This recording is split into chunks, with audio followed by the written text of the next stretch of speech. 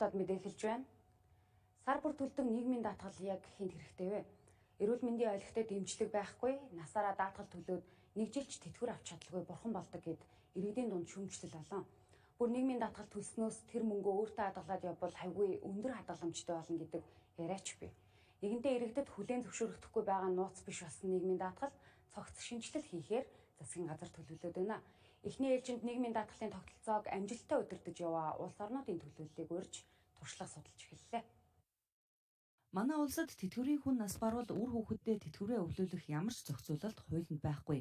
Харин тэтгэврийн зээл нь ар гэрийнхэнд нь өөр болж үлддэг. Тэрч бүхэл зээлдэл бол оршуулгын зардлыг нь хүртэл банк замаас нь авдаг байна.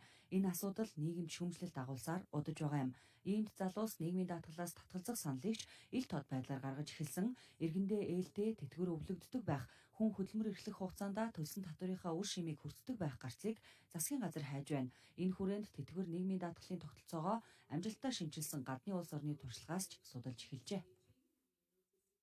Залуучууд бол одоо сүүлийн үед бол хоримтлал миний мөнгө бол яг миний над дээр л хадгалах ёстой гэсэн байр суурин дээр байгаа. А дунд үеийнх нь Ахмад үеийнхний бас нийгмийн хамгаалал бид нар залгагдуулж болохгүй. Энэ бол төрийн үндсэн үүрэг, үндсэн хуулиар хүлээсэн үүрэг.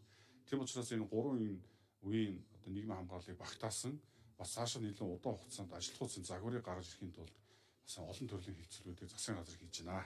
А нийгмийн даатгал тэтгэврийн загвар бол нэг гурван төрлийн загвар байгаа. Тэгээ манайх улс бол одоо яг герман загвар гэсэн загвараар нь бол бид нар явдаг. А тэгэхээр одоо бид нар дараагийн загвараа гаргаж ирэхэд бэлтжин. Тэгэхээр энэ гурван төрлийн загварын сонгодог хэлбэрээр нь явах юм уу эсвэл холимог хэлбэрээр явах уу гэдгээ бол одоо энэ хилцүүг судалгааны үр дүнгээс бол гарнаа гэсэн. Тэгвэл нийгмийн даатгалын асуудал бол нийгмийн харилцаанд орж байгаа хүмүүрийн хувьд чухал сэдв. Өнөөдөр яг энэ улсад тохирсон сонгодог шийдэл гэж байхгүй л дээ. Үүнийг санал болгохч боломжгүй. Учир нь тэтгэврийн асуудал тухайн улсын соёл, уламжлал, амьдралын хэв маягтаас ашгүй холбоотой байдаг учраас бид бусад улс орнуудын хамгийн сайн гэсэн туршлагыг л ярилцаж зөвлөмж гаргах боломжтой. Европ төдийгүй дэлхийн бүх улсад тэтгэврийн асуудал дээр хамгийн чухал зүйл нь мэдээллийг олон нийтэд маш сайн хүргэх эргээд ард иргэдтэйгээ ярилцдаг баг. Харин хоёрдугаарт нь нийгмийн бүх давхаргыг хамарсан хүртээмжтэй байдлыг бий болгох шаардлагатай гэж хардаг. Өнөөдөр ирсэн мэрэгжилтнүүд бол маш олон улсад хэрэгжүүлж байсан тэтгэврийн шинжилгээний сайн муу туршлагаа солилцоод үр дүнтэй зөвлөмж гаргана гэдэгт итгэлтэй байна. Одоогийн байдлаар манай улсад 400 гаруй мянган хүн тэтгэр авч байна. Нэг хүний тэтгэврийг бүрдүүлэхийн тулд 3-аас 4 хүн татвар төлөх ёстой. Гэтэл хөдөлмөрийн насны бүх хүнийг даатгалд бүрэн хамруулж чадахгүй байгаа нь тэтгэврийн санд хүндрэл үүсгэж байгааг албаныхан ярьж байлаа.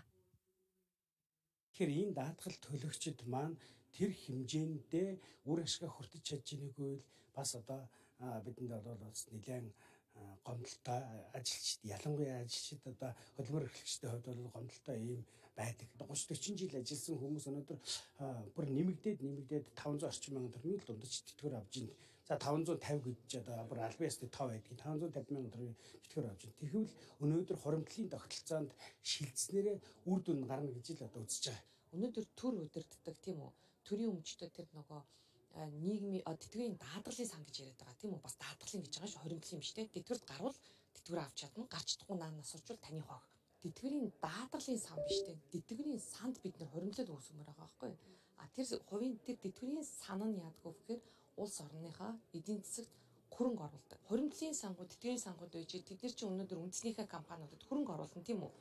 Олон компани төрөнгийн зах зээл рүү гарч ийн өөрсдөө цаа болон бондыг санал болгоно тийм олон нийтэд Тэгэхээр ийшээний нөгөө бидний нөгөө одоо хоримтлал бий болж байгаа хувийн тэтгэврийн сангууд чинь хөрөнгө оруулдаг байх хэрэгтэй байхгүй.